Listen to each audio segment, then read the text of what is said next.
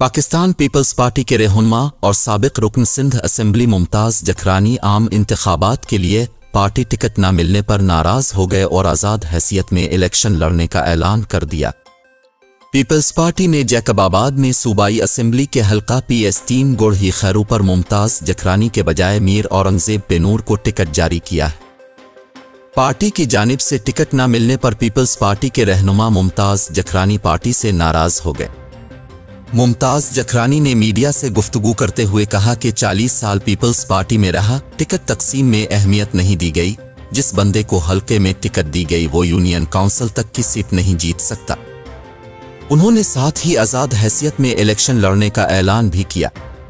वाजह रहे कि मुमताज़ जखरानी 2013 और 2018 में पीपल्स पार्टी की टिकट पर रुकन असेंबली बने थे।